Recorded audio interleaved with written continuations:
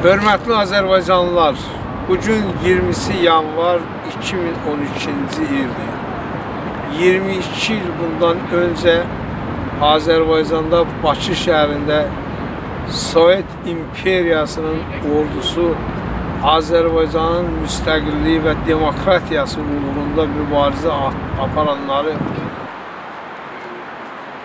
qırıb qıran gündür. Bu insanların qırıl, qırıldığı gündür.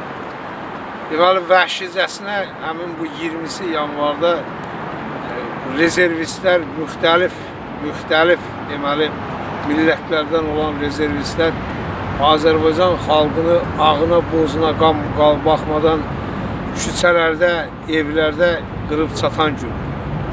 Bu günü hər bir Azərbaycanlı xatırlamalıdır və bu günü hər bir Azərbaycanlı heç vaxt yadından çıxartmamalıdır. Çünki bu insanlar Azərbaycan xalqının gələcəyi uğrunda şəhid olmuş, fəda olmuş insanlardır. Ancaq təəssüflərlə qeyd etmək istəyirəm ki, onların şəhid olduğu ideyalar Azərbaycanda həyata keçmədi.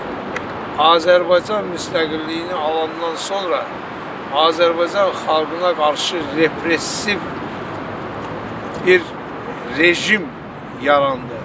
Və bu repressiv rejim Azərbaycan xalqının e, bir çox nümayəndələrini, tanınmış adamlarını e, de, demək olar ki, e, məhv elədi. Həm mənəvi cəhətdən, həm əxlaqi cəhətdən. Bugün Azərbaycan xalqı əlbəttə özünün ən ağır günlərindən birini yaşayır. Bu, Azərbaycan xalqının əraziləri Əraziləri də 22 il və ondan da bir qədər az bir müddətdə Azərbaycan ərazilərinin böyük bir hissəsi 20 min kvadrat kilometrə yaxın böyük bir hissəsi işğal altındadır.